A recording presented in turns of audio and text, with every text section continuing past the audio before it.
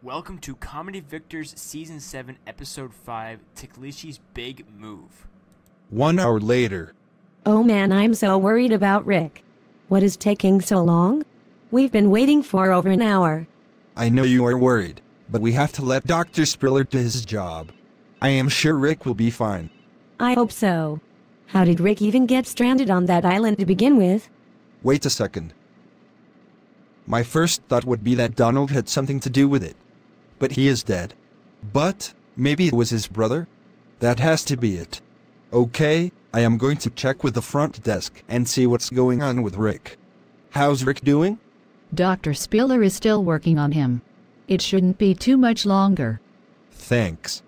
Zach, how is Rick? He is still being examined by Dr. Spiller. A thought just occurred to my mind about who stranded Rick on that island. Oh, yeah? Who is that? Donald's brother. You know? The guys whose name we don't know? Good guess.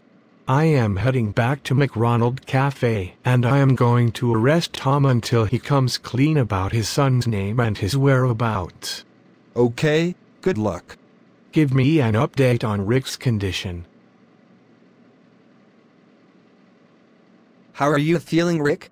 Tired, and starving, and stinky. I need food and sleep in the shower, so can I leave?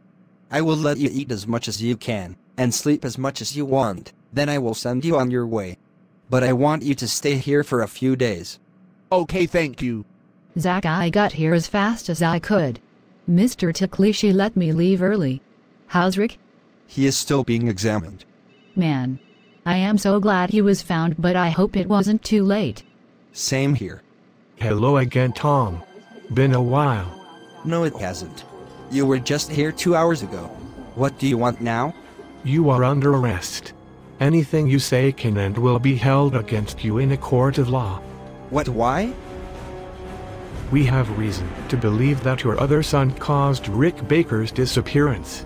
You're coming with me to the GIPD and you are not leaving until you tell me your son's name and where he currently is.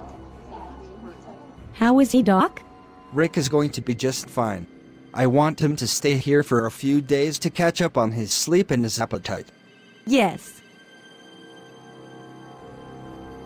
All right, pal. You are not leaving this interrogation room until you tell me your other son's name and where his current location is. Fine. His name is Carl and he is in Spain. Stop lying. Tell me the truth. How do you know I am lying? Because I am a highly trained detective now tell me everything at once. Okay, fine. His name is David, and is currently with my wife in Boston. Bingo. You are free to go. Thank you. All right, Mr. Ticklishi. Everything is done. Can I go home now? Yes, you can. But first, there is something I want to do. Oh yeah. What's that?